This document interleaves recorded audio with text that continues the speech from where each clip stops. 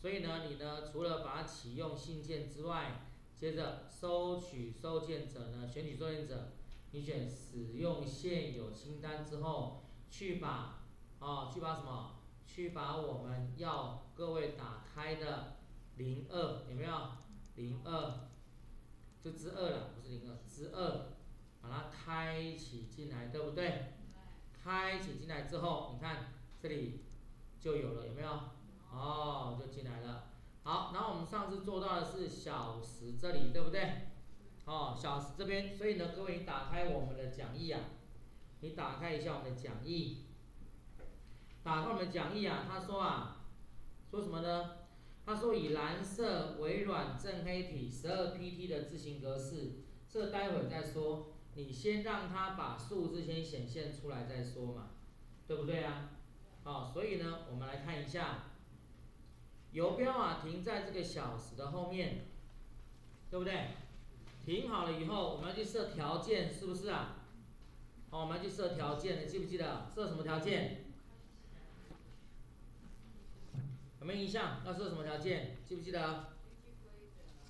啊，设规则，对不对？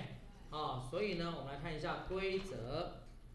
你呢，游标一闪一闪了以后，到邮件里面来，邮件标签里面来，然后呢，接下来按一下规则，点一下，对不对？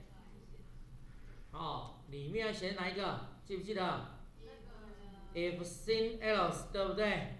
是不是 if seen else 啊？哦，不要忘了哈。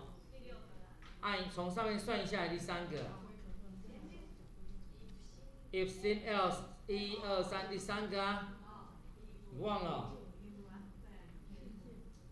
哦，所以按一下。好，同学，这功能表第一栏要选什么？记不记得？如果是客户是，那就是二十个小时；不是就是五个小时，对不对？所以你要先让他判断客户这一栏嘛。客户这一栏。等于什么？要是啊，后面的对比值等于后面要是啊，代表如果答案是是的话呢，那么就是几个小时，二十个小时。所以在比对值这边有没有？比对值这边，好，我把游标，我把放大镜打开给各位看一下。等一下啊。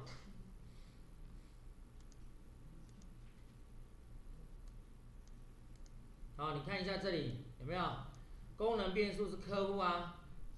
比较的是等于嘛？后面就是什么？是啊，中文的是哦哈。好，因为呢，我们上次有给各位看过表啊，它就有是跟否两个字啊。那如果是的话，那底下点一下就打上二十；不是的话呢，在底下点一下打上五，有没有？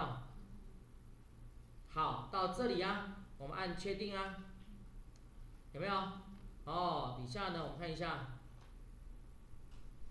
这里看到了吗？二十，这时候再把它选起来，它要求什么？微软蓝色正黑体，所以呢，我们到常用啊这样子嘞。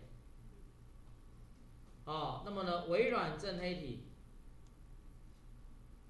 哦，微软正黑体哈，啊，它十二级嘛哈，已经十二了，所以不用管它。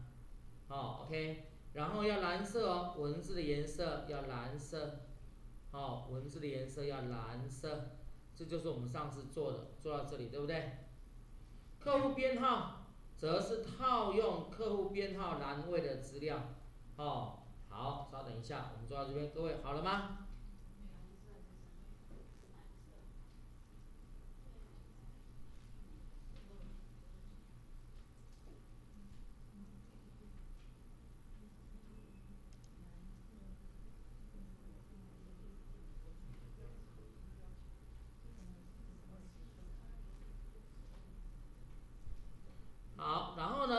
编号的话呢，则是怎么样？就去把它插入什么？到邮件这边来，插入编号里面的，插入合并栏里面的客户编号，把它放进来就对了。哦，放进来，客户编号。啊，不要忘了，放进来之后呢，再把它选起来。一样，因为它这是列在第三题的部分。第三题它就是要求什么？蓝色微软正黑体啊，有没有？所以你把客户编号放进来以后，插入这个合并栏位进来以后，选起来哈，把它选起来，不要忘了，一样要跟上面一样嘛哈。所以呢，你呢一样呢，我们到常用这边来，哦，微软正黑体，好，微软正黑体，十二级嘛，哦，跟上面的二十一样，十二级。然后呢是蓝色的文字，哦，蓝色的文字，这样子啊，我们的客户编号就出来了。客户编号。底下第三题的后面呢有个客户编号，你忘记了吗？没有，我要记很多。哦，有没有？客户编号啊。好，到这里，那接下来我们要做最后一题，就是它的第四第四题。